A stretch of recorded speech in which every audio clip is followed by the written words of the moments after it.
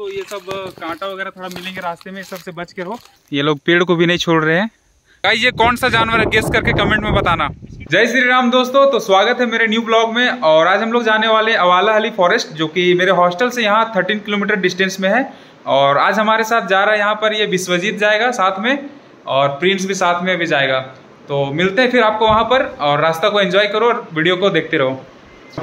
हम लोग का लिफ्ट अब इसमें नीचे से नीचे जाएँगे। और आपको नीचे से दिखाते हैं व्यू हॉस्टल का।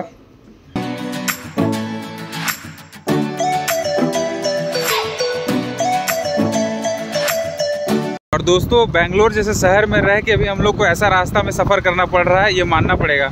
ये ब्रिज बन रहा है, उसके वजह से रास्ता पूरा ख़राब है यहाँ पर, और अभी अंडर कंस्ट्रक्शन चल रहा है काम। तो ऐसे ही गुजरना पड़ता है हम लोग को रास्ते में, हमेशा ऐसे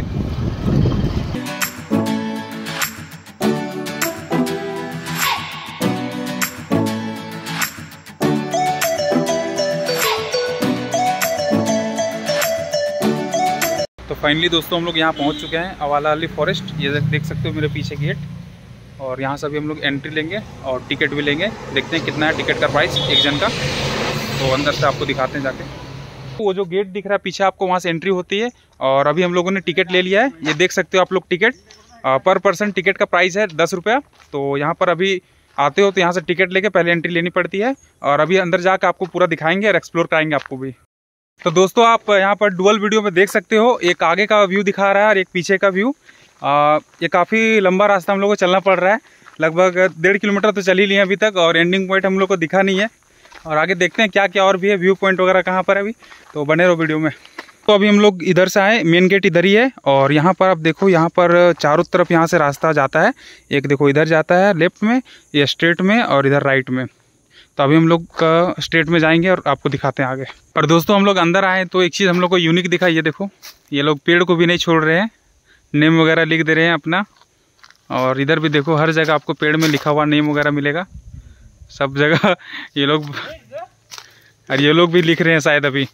दोस्तों, अभी हम लोग ये साइड से आए और इधर अभी देख सकते हो यहाँ एंडिंग पॉइंट है एक साइड का। अभी हम लोग यहाँ पर फ़ोटो वगैरह भी अच्छे से क्लिक करवा लिए हैं और अभी उस साइड जाएँगे जहाँ पर सनसेट पॉइंट है और आपको दिखाएँगे उधर भी। तो ये सब कांटा वगैरह थोड़ा मिलेंगे रास्ते में, इस सबसे बच के रहो। और देखो चारों तरफ़ झाड़ी पूरा है, इस सबसे थोड़ा बच के रहो, नहीं तो फिर लग जाएगा शर्ट में। दोस्तों, हम लोग आ चुके हैं सनसेट पॉइंट पे। आप ये देखो मेरे पीछे सनसेट पॉइंट क्या मस्त क्लाइमेट किया हुआ है यहाँ पर। बहुत मज़ा आ रहा है यहाँ पर तो।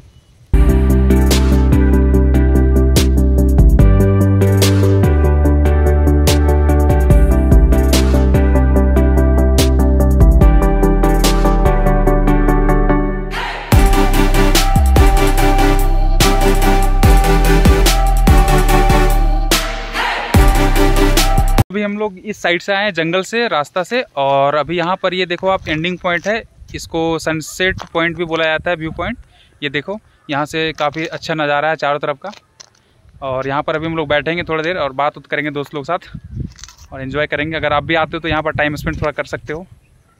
दोस्तों, एक चीज़ खास मैं यहाँ का दिखाता हूँ। ये देखो आप यहाँ पर ये पत्थर देख रहे हो, इसका कलर देखो और इसका कलर देखो। लग रहा है ऐसे मानो कि कोई ज्वाइंट किया है, और इधर भी देखो कलर अलग है, पूरा बीस सेपरेट में, और उधर का व्यू देखो, क्या मस्त व्यू है, और बारिश भी अभी स्टार्ट हो रहा है। इधर का देखो ये।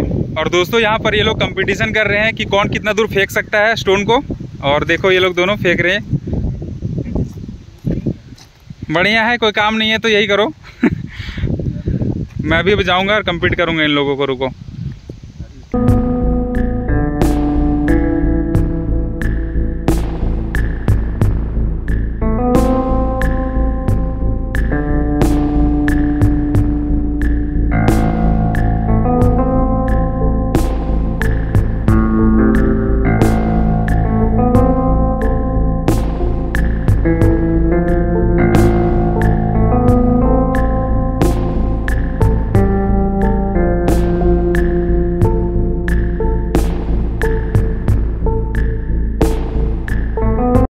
तो फाइनली दोस्तों हम लोग यहाँ पर अच्छे से घूम लिए हैं अभी और यहाँ पर ज़्यादा कुछ वैसे देखने के लिए नहीं है, बस एक सनसेट पॉइंट है और आपको पूरा फॉरेस्ट मिल जाता है और मोर भी आपको देखने के लिए यहाँ मिलेगा। एक मोर हम लोग को दिखा जो कि दूर में था तो वीडियो में ले नहीं पाए, उसको कैप्चर नहीं कर पाए।